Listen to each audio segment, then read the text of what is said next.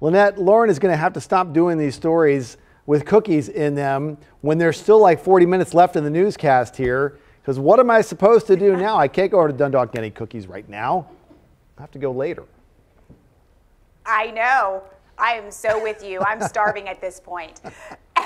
As we go through the rest of today, Kristen, we are going to be cold. We might need a warm beverage with those cookies, that's for sure, this morning and this afternoon. You guys know my warm beverage of choice. That cocoa sounds so good this morning.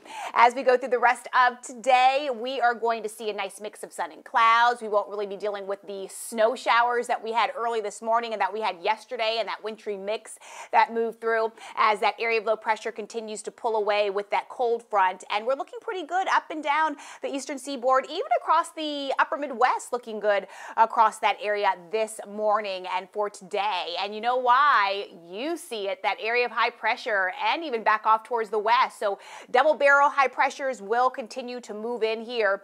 And that is going to provide us with a little more sunshine for today. But behind that cold front, boy, have we dropped those temperatures off. We have a freeze warning in effect until 10 o'clock for the areas there shaded in the purple coloring. So we're looking at the eastern shore for this morning.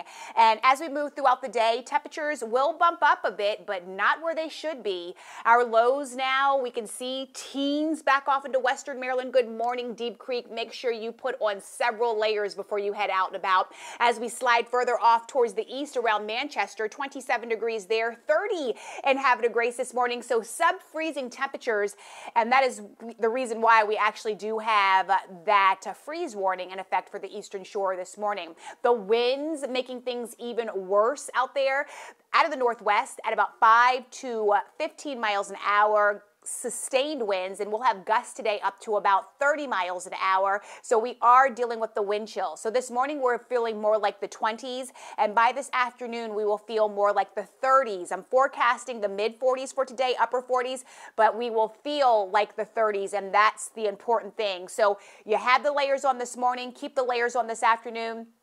I would grab the sunglasses for today as well, as we will have sun and clouds uh, peeking through as we go through the rest of today. It is going to be a very chilly day on tap, and if you want to change that chilly to cold, I don't blame you. As we head towards your Saturday, we will be more seasonal though, but that 57 is still below average now for this time of the year. We should be at 60 degrees. 60 sounds good now, right? And we will surpass that as we head into your Easter Sunday with temperatures in the upper 60s and 70s after that.